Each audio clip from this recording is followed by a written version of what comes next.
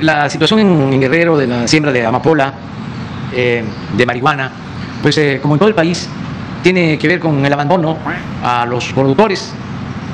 Durante mucho tiempo no se volvió a ver a los productores, se les dio la espalda al pueblo.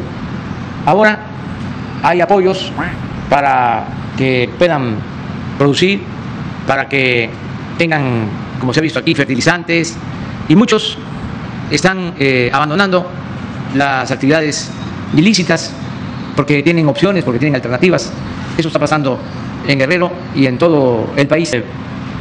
Y una vez en una entrevista, en Metlatono, le pregunté a un campesino que por qué sembraba amapola. Si usted, si cuánto obtenía por eso, muy poco. Y decía, pero puedes ir a la cárcel. Pues sí, me contestó, algo muy fuerte, doloroso. Pero si voy a la cárcel, allá voy a tener que comer. Entonces, mucha gente eh, toma ese camino porque no tiene opciones, no tiene alternativas.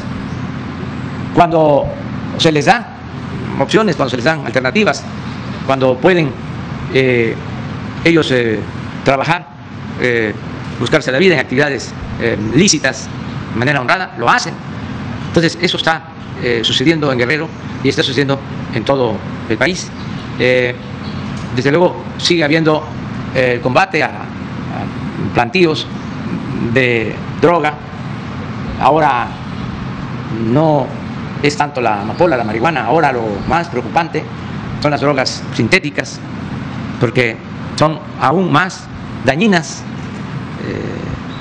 todas las drogas químicas que se fabrican en laboratorios, en las llamadas cocinas, y estamos trabajando en eso.